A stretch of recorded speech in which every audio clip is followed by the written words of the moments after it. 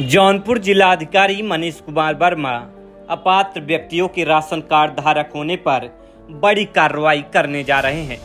DM ने अपात्र लोगों को तत्काल प्रभाव से अपना राशन कार्ड जिला पूर्ति कार्यालय में निरस्त कराने की चेतावनी दी है। उन्होंने बताया कि राशन कार्ड पात्रता का सत्यापन कराया जाएगा। यदि कोई अपात्र व्यक्ति योजना का लाभ लेते नज़र आया तो उसके विरुद्ध विधिक कार्रवाई की जाएगी। और प्रशासनिक वसूली भी होगी। जिलाधिकारी मनीष कुमार वर्मा ने बताया कि ग्रामीण क्षेत्र के लिए समस्त आयकरदाता, ऐसे परिवार जिनके किसी भी सदस्य चार पहिया वाहन अथवा ट्रैक्टर, हार्वेस्टर किसी के भी स्वामी हैं, वह लोग अपात्र हैं। ग्रामीण क्षेत्रों में जिनके पास पाँच के भी या उससे अधिक क्षमता का जनरेटर है, वह लोग भी अपात्र की सूची में आते हैं।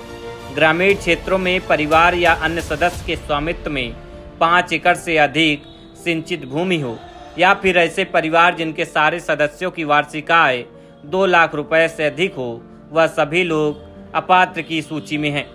डीएम ने जानकारी देते हुए बताया कि नगर क्षेत्र में समस्त आयकरदाता ऐसे परिवार जिनके किसी भी सदस्य की स्वामित्व में चार पहिया वाहन, एसी या पाँच के बी या उससे अधिक क्षमता का जनरेटर है वे सभी लोग अपात्र हैं। ऐसे परिवार जिसके किसी भी सदस्य के पास, अकेले या अन्य सदस्य के स्वामित्व में, सौ वर्ग मीटर से अधिक की स्वर्जित आवासीय प्लाट या उस पर स्वनिर्मित मकान या सौ वर्ग मीटर से अधिक कारपेट एरिया का आवासीय फ्लैट हो, वे सभी लोग अपात्र के दायरे में हैं।